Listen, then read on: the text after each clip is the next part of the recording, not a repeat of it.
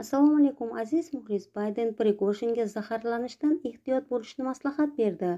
Aqsh prezidenti jo bayden vagner rahbari yevgeniy prigojinga muvaffaqiyatsiz qo'zg'olondan so'ng zaharlanishdan ehtiyot bo'lishni maslahat berdi. Agar men uning o'rnida bo'lganimda yotgan narsalarimga ehtiyot bo'lar edim taomnomamga e'tiborli bo'lar edim deydi bayden.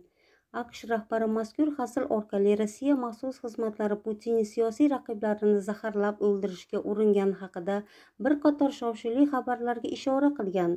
Baydendan rossiyada assalomu alaykum birodarlar. Zararsiz semirmoqchi bo'lgan insonlar uchun bez trenirovka semirmoqchi bo'lganlar uchun samyunvan red jenshin jenshin mahsulotlarini taklif qilamiz.